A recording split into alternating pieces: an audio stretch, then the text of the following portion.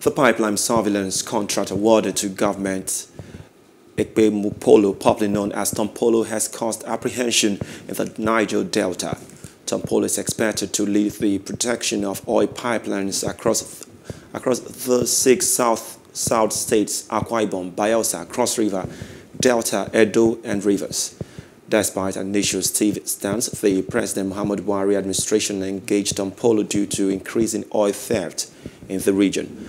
The deal was sealed by the Ministry of Petroleum Resources and Nigerian National Petroleum Corporation, NNPC.